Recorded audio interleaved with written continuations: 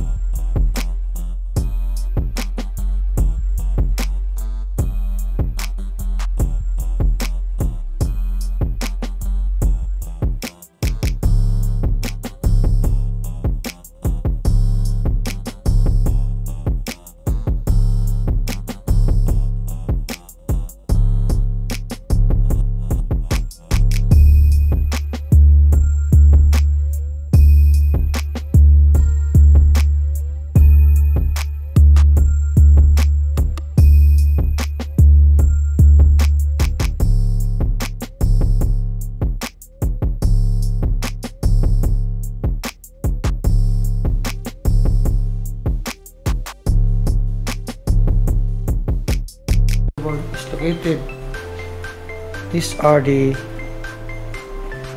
ang panlabas niyang kukonek ka natin.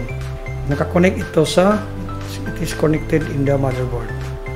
Let, let us first name it, no? One by one. So, yung mga bago ngayon, wala na ito, eh, wala na yan. No?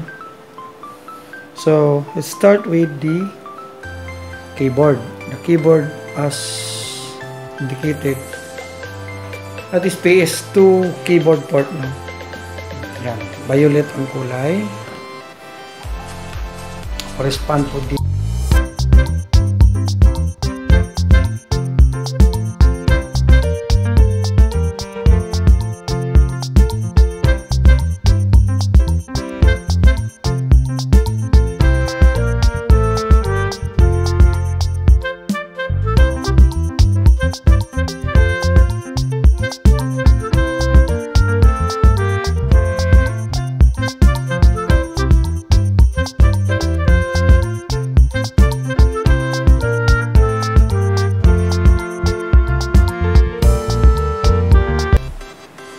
ito yung PS2 type. So, subukan natin i-connect. Yan. Tingnan natin yung position. Yan, ito po yan. Yan. The next port is mouse port. The color is green. Green. Mouse port. PS2 mouse connector. Yan. So I've said ngayon, mga bago na, we have the USB type. Na may mayroon tayong serial port, parallel port, VGA. Sa VGA, yan ikakabit yung monitor. Yan. Hindi rin tayo mawawala pag connect dito no? Dahil may guide na naman. Okay? Iyan. Then may lock. Kailangan nakasecure talaga. Okay? Ito sa kabila, the other side will be connected to the monitor. Mamaya natin i-connect. Okay? Then we have the speaker. Yan, speaker. Speaker terminals. We have the USB for the power supply. Yan. Bigyan yun sa power supply. USB stands for Universal Serial Bus.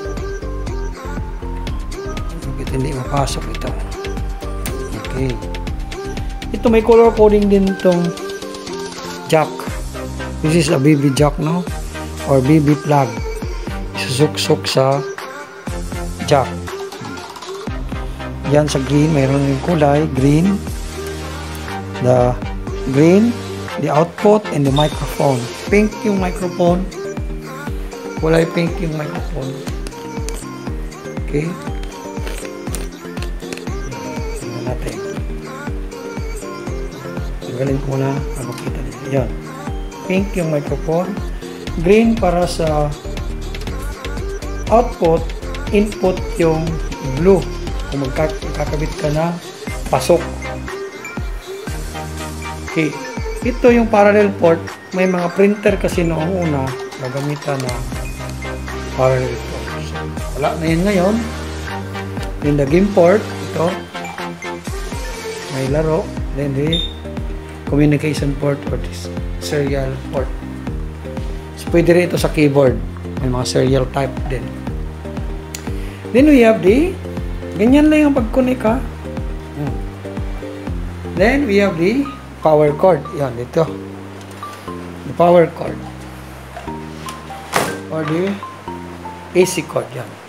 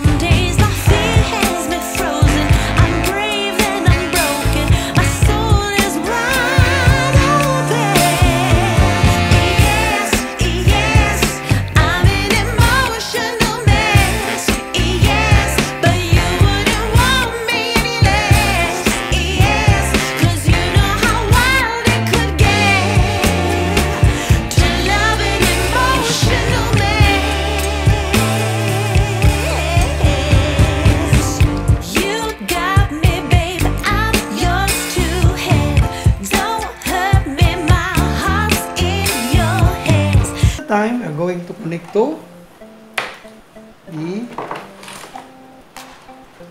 this one. EBR automatic.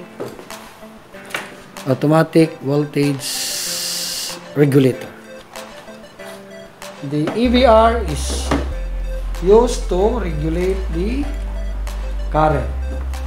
Kasi yung kuryente natin dito is pabago-bago So, kailangan may EBR.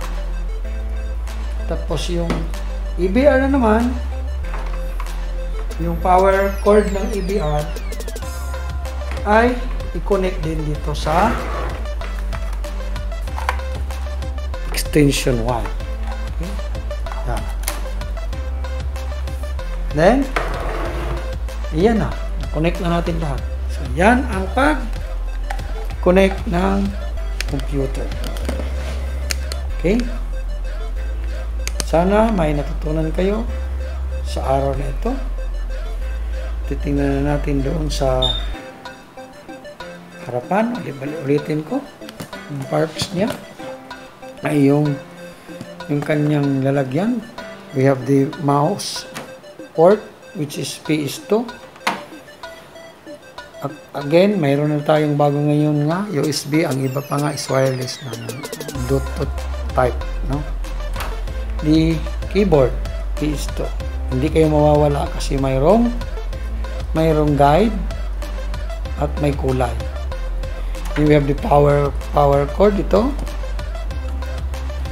And again, wag na wag nyong pipihitin ito kasi nakalagay ito sa 230 volts tapos ibababa ninyo ganyan out of ah parang na-intriga kayo. So pagsaksak niyo yan sa pool na no? Merry Christmas ka agad. Puputok talaga yan. So tingnan nyo 115 ilalagay natin sa 230 yung iba kasi yung mga bago ngayon wala na. Wala nang ganyan tinanggal kasi tayo kasi basta may makitang pin, pindutanan ah, pindot ka agad.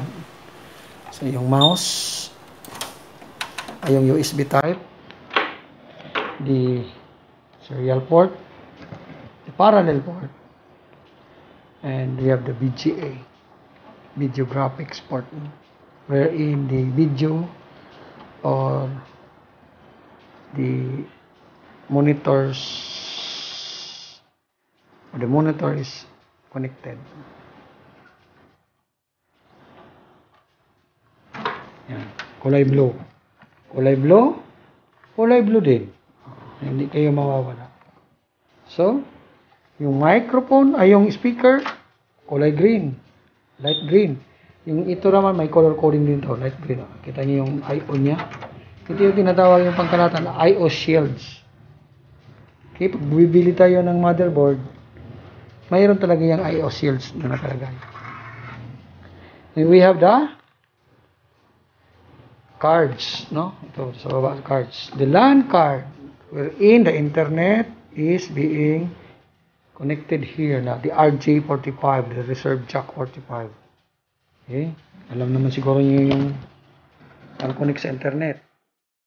So ito, ito yung RJ45, ito yung RJ45, ito is the cable, yung cable.